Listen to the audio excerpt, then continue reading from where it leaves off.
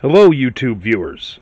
I'm Bunker Gamer 82, and today I'm going to be showing uh, some of my uh, survival supplies, or as I like to call them, apocalypse supplies.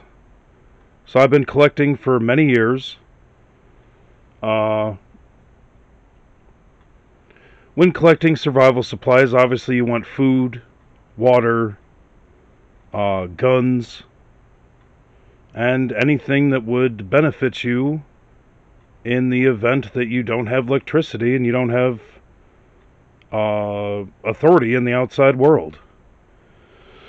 So let's get started here. As the the first shelf, I got uh, well, you got uh, a, a ton of batteries. You got uh, uh, radios, lanterns. I got a bunch of little mini propanes, uh, light bulbs, generator, uh, a bulk of candles, uh, more lanterns on the bottom there, more candles, uh, more candles, uh, several gun cleaning kits. You want to keep your guns clean. You, got some soap there, you know, it's uh, basically anything you can find in the wild. You just you think to yourself, uh, could I use this in an emergency situation? So I got my main two gun cabinets here, uh, two pistols, which this little beauty here is my grandfather's World War II pistol. It's an M1911 Colt beautiful condition. I know this camera sucks, but I, I love this handgun.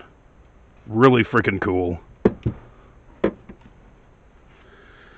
Got uh, a couple uh, tactical shotguns, assault rifle. Yeah, I got ammo spread all over the place. You know, you, you can't ever have too much ammo. Uh, you know, it's uh, especially if you find it on sale, buy that ammo because it don't go bad. All you got to do is keep moisture out of the shotgun shells. Uh, so now th this thing has come in handy a lot. The vacuum sealer. Now I have sealed a ton of dried products in these. That they are absolutely amazing. I would definitely recommend purchasing one. Got gas masks, helmets, body armor, uh, another generator, more body armor. You got uh, medical supplies. Now, I, I have random medical supplies all over the place. You know, whenever I find the stuff, you just, uh, you just stock up, man. And over here, I have the main bulk of my food. You got, uh, luncheon meat. That there's Apocalypse Gold. And uh, this here's Apocalypse Diamonds. Cooked ham in a can. Very good. You know, that, that stuff stays good for so damn long. Uh, the best by date or expiration date's bullshit. I have eaten a can of Spam that was 10 years old. It tasted fine, it looked fine, and it I didn't die. So, you know, that stuff stays good rule of thumb, you know, judge by uh, judge by what it looks like, what it smells like, and what it tastes like. If something's off, throw it away. Same goes with canned goods here. Got a ton of canned goods. Get a better view here. I know it's dark too. Yeah, canned goods, canned goods, canned goods. Uh, peanut butter peanut butter stays good for a long damn time. I don't exactly know how long, but plus 10 years. As long as you keep it in a, uh, uh, well, properly, uh, proper temperature and proper humidity levels. Ramen, same thing. Ramen is absolute gold.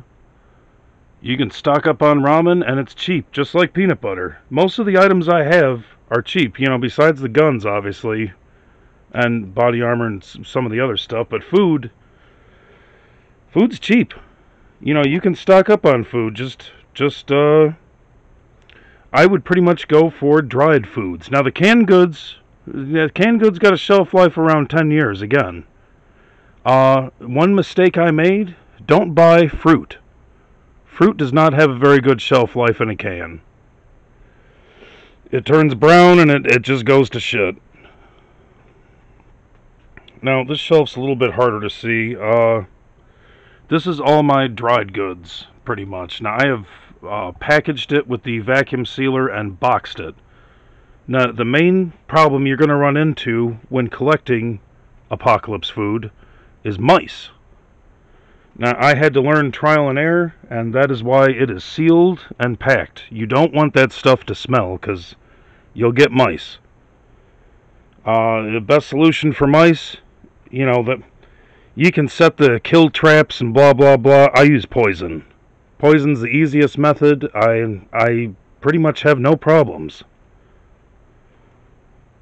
But uh, yeah, yeah, that's uh, shelving. Obviously, is huge. Now I have more shelving behind me, filled with more stuff, but I'm not going to show any of that. Uh, I'm just keeping it to this small area here for security purposes. But uh, yeah, that that's uh, that's a good amount of my apocalypse supplies.